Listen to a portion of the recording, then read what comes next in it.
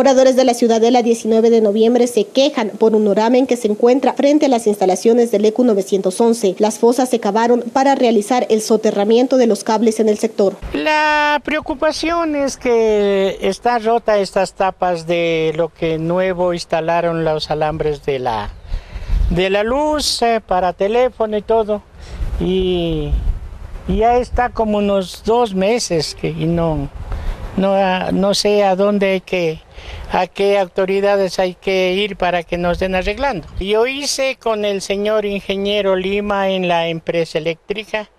Él me, me supo decir que hable con el señor jefe del ECO. El señor jefe del ECO me informó pues que ya iba a ver.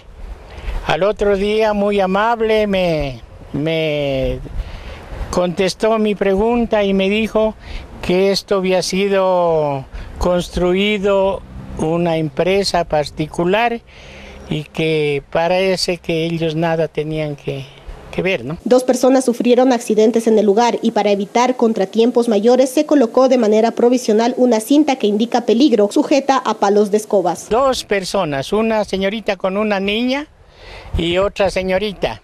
Vienen viendo la televisión y como vienen ojo a la televisión, ¡pum! caen. Y no solo aquí, enfrente de mi casa también está igual partido, eso ya mismo se cae. Pese a las gestiones que se han realizado en diferentes instituciones, hasta ahora no se ha dado ninguna solución a la problemática.